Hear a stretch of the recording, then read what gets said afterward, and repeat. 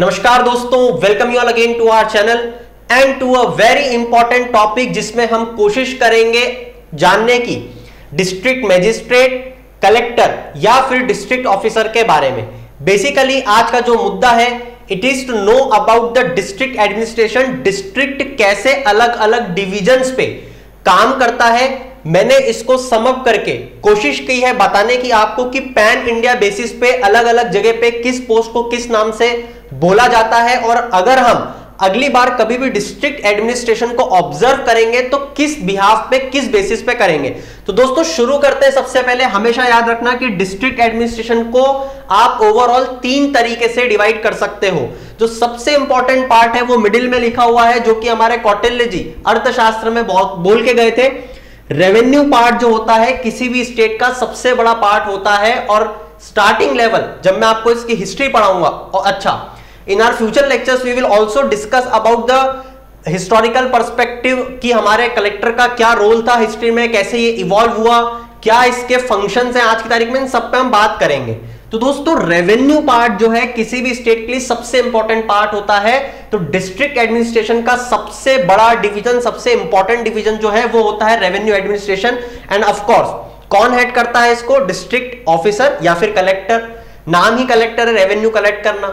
Second जो division आता है, वो आता है लॉ एंड ऑर्डर का, जिसमें कि जब डिस्ट्रिक्ट ऑफिसर अपने फ़ंक्शंस को करते हैं, उसको क्या बोलते हो आप? डिस्ट्रिक्ट मैजिस्ट्रेट डीएम साहब।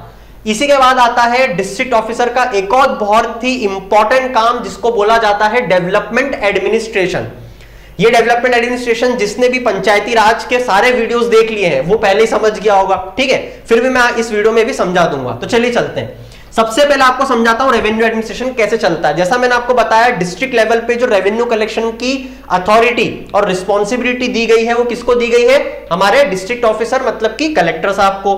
डिस्ट्रिक्ट्स को फर्दर बहुत सारे सब डिविजन्स में बांटा जाता है। डिस्ट्रिक्ट्स को फर्दर किसमें बांटा जाता है? सब डिवीज़न और सब डिवीज़न को कौन हेड करेगा? सब डिवीज़न ऑफिसर या सब डिवीज़न मैजिस्ट्रेट ये हमको याद रखना था। सदर्न स्टेट्स में इंडिया के सदर्न स्टेट्स में यही सब डिवीज़न को जो हेड करता है, वहाँ पे आप इसको सब कलेक्टर भी बोल देते हो। ठीक है? ये डिफरेंस रहता है। देखो दोस्त, हमारे यहाँ पे डिस्ट्रिक्ट एडमिनिस्ट्रेशन जो है, वो किसी भी एक डिस्ट्रिक्ट किसी भी एक स्टेट के एक डिस्ट्रिक्ट में और दूसरे स्टेट के एक डिस्ट्रिक्ट में बहुत अलग अलग तरीके से हो सकता है। इनफैक्ट मैं आपको यह बताऊँ कि एक स्टेट में ही अगर दो डिस्ट्रिक्ट को ऑब्ज़र्व किया जाए तो वहाँ भी आपको डिफरेंस देखने को मिल सकता है। तो इसलिए ध्यान रखना डिस्ट्रिक्ट को सब डिवीज़न डिस्ट्रिक्ट को किसमें डिवाइड करते हैं? सब डिवीज़न हेड कौन करेगा? सब डिवीज़न ऑफिसर या सब डिस्ट्रिक्ट सब डिवीज़न मैजिस्ट्रेट वहीं अगर सदर्न स्टेट्स की बात करें तो कौन हेड करेगा? सब कलेक्टर ठीक है? सब डिवीज़न को फर्दर डिवाइड किया जाता है बहुत सारी तहसील्स में। अब तहसील्स को कई जगह महल्स बोला जाता है, कई जगह तालुकाज बोला जाता है। और तहसील को कौन ऐड करेगा? तहसीलदार। तो ये हमको याद रखना था। और महल जहाँ बोलेंगे तो वहाँ पे कौन करेगा? महलुका। ठीक है? तो इस तरीके से वहाँ पे जब हेड जो करता है, उसके भी नाम इसके ज़रिए बदल जाते हैं। तो अगली बार जब भी आप तहसील महल सुनो तो ध्यान रखना है कि किसका निचला डिवीज़न है ये? सब डिवीज़न का। अब इस तहसील, इस तालुकास के नीचे भी एक और डिवीज़न रहता है, जिसको हम बोलते हैं सर्कल सर्कल बोलते हैं महाराष्ट्र में, फिरका बोलते हैं तमिलनाडु। अगेन देखो, सदन में अलग नाम आ गया। परगाना नॉर्थ परगाना आपने सुना होगा ना हिस्ट्री पढ़ते हुए? ये भी सर्कल ही होता है। ठीक है, ये बोलते हैं नॉर्थ डिवीज़न में मतलब नॉर्दर्न स्टेट्स में। अब तहसील के नीचे जो है परगाना, फिरका सर्कल्स जो है, इसको हेड कौन करता है? रेवेन्यू इंस्पेक्टर बोला जाता है या सर्कल इंस्पेक्टर बोला जाता है? तो उम्मीद करता हूँ अभी तक आपको रेवेन्यू एडमिनिस्ट्रेशन में डिस्ट्रिक्ट जो कि फर्दर सब डिवाइडेड होती है सब डिवीज़न में, जो कि फर्दर सब डिवाइडेड होती है तहसील जो कि फर्दर सब डिवाइडेड होती है सर्कल्स परगाना और फिरका में आपको समझ में आ गया होगा, इसकी जो पोजिशन लेते हैं हेड जो होते हैं, उनको क्या बोलते हैं आप, ये बहुत बेहतर तरीके से समझ गए होंगे। चलता हूँ आपको लेके दूसरे डिवीज़न पे लॉ एंड ऑर्डर बहुत ही इंपॉर्टेंट एस्पेक्ट है, मगर सबसे पहली चीज़ ध्यान रखना। कई जगह आपको ऑफकोर्स सुप्रिंटेंडेंट ऑफ़ पुलिस तो आप सब जानते ही हो, मगर लॉ एंड ऑर्डर में भी आपको दो चीज़ें देखने को मिलेंगी, जो जनरली हमारी मेट्रो सिटीज़ जैसे कि मुंबई, दिल्ली, वहाँ पे कमिश्नरेट सिस्टम चलता है, ठीक है? तो वहाँ पे आपको देखने को मिलेंगे कमिश्नर साहब। तो ये चीज़ हमको ध्यान रखनी है। तो चलिए चलते हैं लॉ एंड ऑर्डर पे। Law and order again final responsibility जो है, वो किसकी है? डिस्ट्रिक्ट ऑफिसर या फिर डिस्ट्रिक्ट मैजिस्ट्रेट जिसको क्या कलेक्टर बोल रहे हैं हम लोग, ठीक है? इसी के साथ साथ आपको जब लॉ एंड ऑर्डर पढ़ रहे हैं दोस्तों, क्योंकि यहाँ पे जो डिस्ट्रिक्ट मैजिस्ट्रेट या डिस्ट्रिक्ट कलेक्टर जो है he was assisted by the superintendent of police of the same district इसी कारण से बोला जाता है, जो आप एक डिबेट देखते हो ना कि कैसे डीएम जो है वो एसपी से ऊपर हो जाता है। तो इस कारण से क्योंकि एसपी जो है वो उनको असिस्ट करता है। ये हम फ़ंक्शंस में जब पढ़ेंगे तो आपको और बेहतर तरीके से समझ में आएगा। तो जैसे मैंने यहाँ पे लिखा हुआ है एसपी साहब असिस्ट करेंगे। और एसपी साहब असिस्ट क्यों करेंगे? क्योंकि जो पुलिस फोर्स है, उस पुलिस फोर्स को जो हेड करते हैं, वो होते हैं एसपी साहब, ठीक है? फ़र्क समझ में आ रहा होगा आपको। पुलिस फोर्स को हेड करेंगे एसपी साहब और एसपी साहब असिस्ट करेंगे डिस्ट्रिक्ट मजिस्ट्रेट साहब को किस चीज़ में असिस्ट करेंगे मदद करेंगे लॉ एंड ऑर्डर मेंटेन करने में।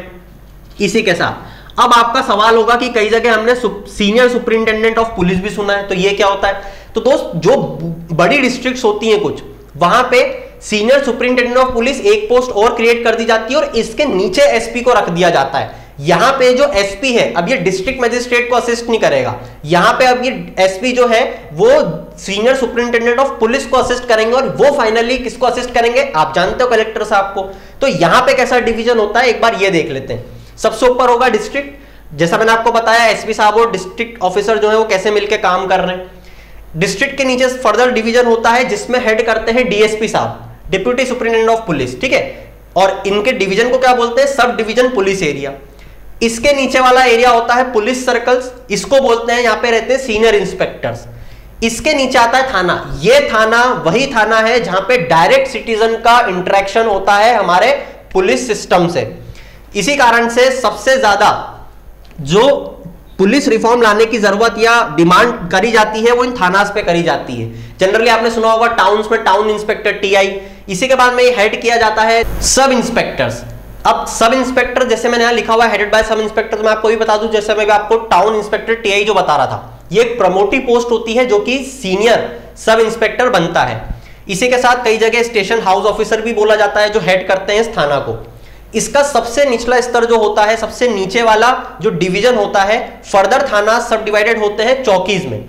इस चौकीज को हेड करते हैं असिस्टेंट सब इंस्पेक्टर या फिर कॉन्स्टेबल्स तो उम्मीद करता हूँ कि लॉ एंड ऑर्डर आपको बहुत बेहतर तरीके से समझ में आ गया होगा। रेवेन्यू एडमिनिस्ट्रेशन हम ऑलरेडी पढ़ चुके हैं। डेवलपमेंट एडमिनिस्ट्रेशन में अगेन डिस्ट्रिक्ट ऑफिसर या कलेक्टर का बहुत ही इंपॉर्टेंट रोल रहता है। जैसा मैंने आपको जब पंचायती राज पढ़ाया था तो मैंने आपको बताया था कि देखो, वहाँ पे जो लीडर्स आ रहे हैं, जिनको लोग चुन के भेज रहे हैं they don't have particular knowledge about the matter how to solve problems तो उनको असिस्ट कौन करता है? यहाँ पे डेवलपमेंट ऑफिसर की तरह काम करते हैं कोऑर्डिनेट करते हैं, ठीक है?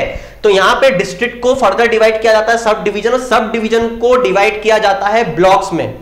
इस ब्लॉक में एक ब्लॉक डेवलपमेंट ऑफिसर भी होता है और इन्हीं ब्लॉक्स को, जैसा हमने पंचायती राज में पढ़ा था कि आप फर्दर किसको डिवाइड कर देते हो? विलेज में। और इस तरीके से जो डिस्ट्रिक्ट ऑफिसर है, वो इन सबको कोऑर्डिनेट करने में मदद करता है। तो दोस्तों this is all about the functioning and the specifications of the district administration I hope आपको लेक्चर अच्छा लगा होगा। अगर हाँ चैनल को सब्सक्राइब कर सकते हैं वीडियो को लाइक कर सकते हैं। Also you can share with your friend so that you can have a fruitful discussion on this topic for the post which you are aspiring for in the end Keep shining. Have a good day. Thank you for hearing us.